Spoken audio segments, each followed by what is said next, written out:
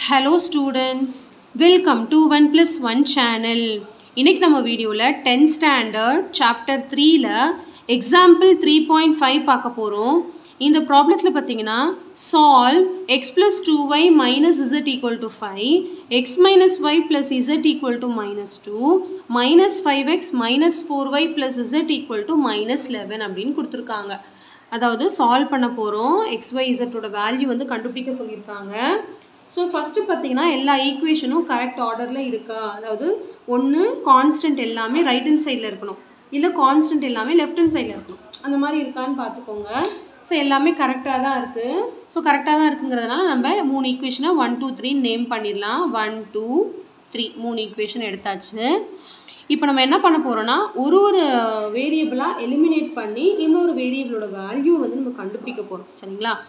So first பார்த்தீங்கன்னா இந்த ரெண்டு ஈக்குவேஷன் எடுத்தால் இசட் கேன்சல் ஆகிற மாதிரி இருக்குது அதனால் நான் என்ன பண்ண போகிறேன் solving equation one and two eliminate Z பண்ண போகிறேன் சரிங்களா? இப்போ நீங்கள் இந்த ரெண்டு ஈக்குவேஷன் எடுத்து இசட் கேன்சல் பண்ணிங்கன்னா அடுத்த ரெண்டு ஈக்குவேஷன் எடுத்து இசட் தான் கேன்சல் பண்ணணும். ஏன்னா இதில் மூணு வேரியபிள் இருக்கு இல்லையா? நம்ம ரெண்டு ஈக்குவேஷன் உருவாக்க போகிறோம் ரெண்டு வேரியபிளில் அப்போ தான் டூ வேரியபிள் இருக்கும் போது ஒரு வேரியபிளை கேன்சல் பண்ணி இன்னொரு வேரியபிளோட வேல்யூ வந்து நம்மளால் கண்டுபிடிக்க முடியும். ஸோ அதனால் நான் ஃபஸ்ட்டு டூ ஈக்குவேஷனை எடுத்து இசட்டை கேன்சல் பண்ணுறேன் அதுக்காக நான் எதையுமே மல்டிப்ளை பண்ண வேண்டாம். எதுவுமே சைனும் சேஞ்ச் பண்ண வேண்டாம். அதுவே கரெக்டான ஆர்டரில் தான் இருக்குது அதாவது மைனஸ் ப்ளஸ் ரெண்டும் கேன்சல் ஆகிடும் இப்போது எக்ஸ் ப்ளஸ் எக்ஸ் வந்து two X plus two Y minus one Y பார்த்தீங்கன்னா ப்ளஸ் ஒன் ஒய் வரும். அதாவது ஒய் ஃபைவ் மைனஸ் டூ பார்த்தீங்கன்னா த்ரீ ஸோ இதுதான் ஈக்குவேஷன் ஃபோர் இதே மாதிரி அடுத்த ஒன் அண்ட் டூ எடுத்தாலே அடுத்து ஒன் த்ரீ எடுக்கலாம் இல்லை டூ த்ரீ எடுத்து இசட் கேன்சல் பண்ணலாம். ஸோ அப்படி பார்த்தீங்கன்னா டூ த்ரீயில் பார்த்தீங்கன்னா ரெண்டுமே ப்ளஸ் இசட்டுன்னு இருக்குது அதுவும் எடுக்கலாம் ஒன்றும் பிரச்சனை கிடையாது. சைனை சேஞ்ச் பண்ணணும். இதுவே சால்விங் ஒன் அண்ட் த்ரீ பண்ணிங்கன்னா மைனஸ் இசட் ப்ளஸ் இசட் அப்படியே கேன்சல் ஆகிடும் நம்ம எதுவுமே பண்ண வேண்டாம். அதனால் நான் என்ன பண்ண போகிறேன்னா ஒன் அண்ட் த்ரீ எடுக்க போகிறேன் solving equation one and three eliminate Z பண்ண போகிறேன் அதே மாதிரி இசட்டை தான் எலிமினேட் பண்ணணும். சரிங்களா? ஸோ ஃபஸ்ட் ஈக்குவேஷன் அப்படியே எழுதிக்கோங்க. X plus two y minus z equal to five third equation பார்த்தீங்கன்னா x minus y plus z equal to minus two இப்போ இதில் minus z plus z cancel ஆகிடும் மீதி என்ன இருக்குன்னு பார்த்தீங்கன்னா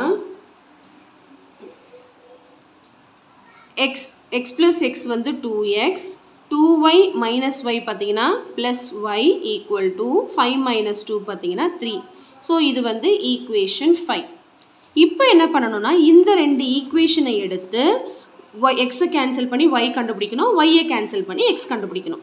ஸோ நான் என்ன பண்ண போகிறேன்னா இப்போ solving equation four and five ஏன்னா இதுலேயும் ரெண்டு வேரியபிள் தான் இருக்குது இதுலேயும் ரெண்டு வேரியபிள் தான் இருக்குது இப்போ இதில் என்னென்னா எதை கேன்சல் பண்ணணும் அப்படின்னு பார்த்தீங்கன்னா இந்த சம்மில் two x two x y y எல்லாமே கேன்சல் ஆகிடும் ஸோ என்னன்னு பார்ப்போம் so two x plus y equal to த்ரீயையும் two x plus y equal to த்ரீயையும் பண்ண போகிறோம் ஸோ இது வந்து எல்லாமே சேம் வேரியபிளாக இருக்கிறதுனால நம்ம என்ன பண்ண போகிறோம்னா சைன் மாற்ற போகிறோம் எல்லாமே சேம் சைனாக இருக்கிறதுனால சைனை மாற்றணும் சரிங்களா? இங்கெல்லாம் ஆப்போசிட் சைனாக தான் இருந்ததுனால நம்ம கேன்சல் பண்ணிட்டோம். இங்கே வந்து ஆப்போசிட் சைனில் எதுவுமே இல்லை இல்லையா? அப்படி இல்லாத போது சைன் வந்து கீழே இருக்கிற ஈக்குவேஷனுக்கு மாற்றணும் ஃபுல் ஈக்குவேஷனுக்கு தான் மாற்றணும் இந்த சம்மில் பார்த்தீங்கன்னா எல்லாமே கேன்சல் ஆகிடுது two x minus two x zero இங்கேயும் ஜீரோ இங்கேயும் ஜீரோ ஸோ இந்த மாதிரி வந்துருச்சு. இப்போ சால்வ் பண்ணும்போது எக்ஸும் இல்லை ஒய்யும் நிற்கலை அப்படின்னா இந்த மாதிரி வந்து ஜீரோ ஈக்குவல் டு ஜீரோ அப்படின்னு வந்துச்சுன்னா the system has infinite number of solution அவ்வளோதான் ஜீரோ ஈக்குவல் நம்ம மூணு கண்டிஷன் படிச்சிருக்கோம். சரிங்களா? Hence the system has hence the system has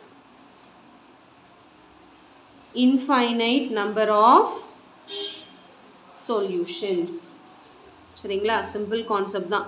எப்பயும் போல் சால்வ் பண்ணிக்கிட்டே வாங்க. நீங்கள் எந்த ரெண்டு ஈக்குவேஷன் எடுத்தாலும் இதில் எந்த ரெண்டு ஈக்குவேஷன் எடுத்து எக்ஸை கேன்சல் பண்ணியிருந்தாலும் இதே கான்செப்ட் தான் உங்களுக்கு வரும். நீங்கள் வேணால் ட்ரை பண்ணி பாருங்கள் நான் இசட் கேன்சல் பண்ண மாதிரி நீங்கள் எக்ஸை கேன்சல் பண்ணாலும் இதே கான்செப்டில் தான் உங்களுக்கு ஆன்சர் வரும். சரிங்களா?